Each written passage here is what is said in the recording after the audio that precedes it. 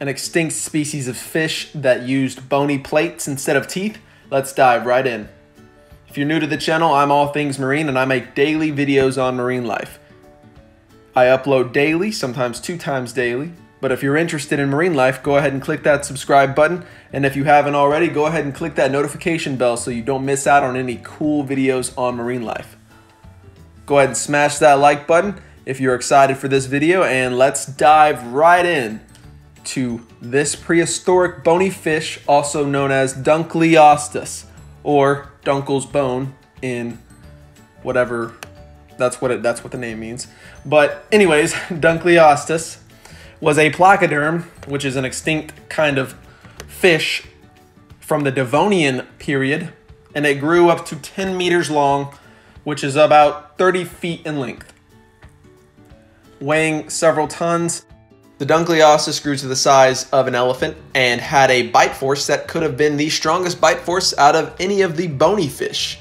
However, it was not the strongest bite force as that is currently held by the Megalodon, which I will include a link to in the description.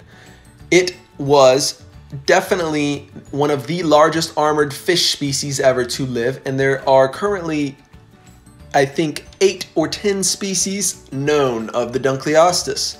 The Dunkleosteus terrelli, which is shown on the screen, was the largest that has been found, and the Dunkleosteus used these bony plates to crush and tear through anything they wanted to during the Devonian period, which is the time period that this creature lived.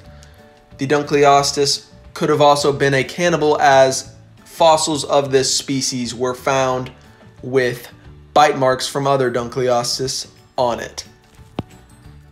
The Dunkleosteus flourished worldwide and was easily one of the most terrifying things of the prehistoric times. The Dunkleosteus may not have used its bony plates to feed as much as it used another strategy. The Dunkleosteus most likely, according to scientists, opened its mouth and created a vacuum which sucked its prey into its mouth.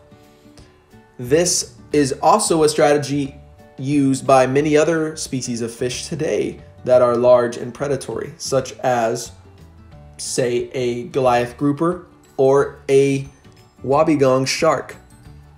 Thank you guys so much for watching this video, and that is everything you need to know about the Dunkleosteus, a prehistoric bony fish that grew to the size of a killer whale. Like and comment and subscribe.